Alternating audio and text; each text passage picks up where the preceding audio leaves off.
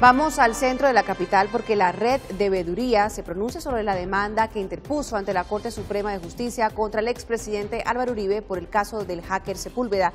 Ricardo, regreso con usted y adelante con la información. Carolina, me acompaña precisamente a esta hora Pablo Bustos, presidente de la red de veedurías, para hablar sobre este tema, la investigación preliminar, doctor Bustos, acá en la Corte Suprema contra Álvaro Uribe por el caso del hacker. Como lo anunciamos en primicia a través de este medio, justamente la Corte Suprema de Justicia nos ha dado razón en el sentido de habilitar una investigación para determinar la posibilidad de abrir formalmente un proceso contra los parlamentarios Álvaro Uribe y María Fernanda Cabal. Se trata de un hecho sin precedentes en, la medida en que es la primera denuncia que tiene una ritualidad contra Uribe, por un lado, y segundo, la rapidez con que la Corte ha actuado. ¿Qué pudo establecer usted en este momento que ha estado acá en la Corte Suprema?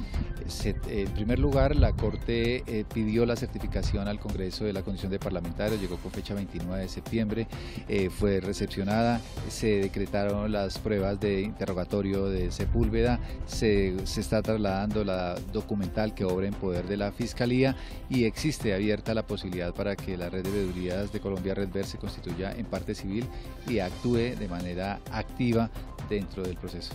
Doctor Bustos, muchas gracias. Carolina, la información que tenemos a esta hora desde la Corte Suprema de Justicia en el centro de la capital del país. Continúe usted con más noticias. Gracias, Ricardo. El director de la policía aseguró que les llegó la hora a los ladrones de celulares en la capital. Esta declaración se da luego de dos operativos contra los centros de comercio ilegal de telefonía móvil el director de la Policía Nacional General Rodolfo Palomino dijo que los operativos en contra de los celulares robados es una estrategia para que los delincuentes no se burlen de la justicia. Yo creo que ya le llegó la hora a aquellos que venían, eh, digamos, como buscando la manera de burlar esa, esa persecución a quienes están cometiendo estos hurtos a celulares. Además, Palomino admitió que la casa de Pereira, conocida como la Casa del Terror, fuera una casa de pique. Se ha encontrado una casa donde han habido algunas evidencias en donde llamaban a las personas a pedirle cuentas dentro de una organización criminal. Es solamente eso, pero de ahí a ir a señalar que se trata de una casa de pique, hay una diferencia que no se corresponde. Las autoridades departamentales adelantan el proceso de extinción de dominio al inmueble, en donde fueron capturados cuatro personas, entre ellas un menor de 15 años. Ocho familias de la capital le exigen al distrito que no los expropien sin que la empresa de acueducto les pague lo que les prometió por sus predios.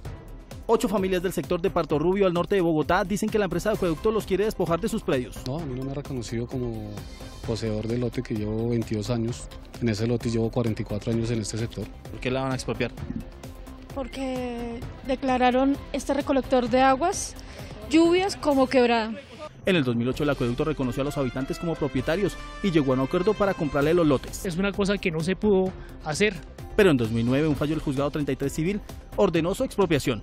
En vista que no hubo arreglo alguno en la negociación directa, el demandante expiró la resolución número 1179 de 3 de diciembre de 2007, ordenando la expropiación del inmueble por razones de utilidad pública e interés social. El acueducto dice que la única propietaria del lote es la señora Ana Elia Araque, quien vendió a las ocho familias y no reconoce a los nuevos propietarios porque el lote nunca se desenglobó ante catastro ni legalizó la venta. Pues sí, yo no, porque yo les vendí. Claro, es que sí se llegó a un acuerdo, pero en el 2008 le conciliaron con unos en 30 millones, pero no les pagaron.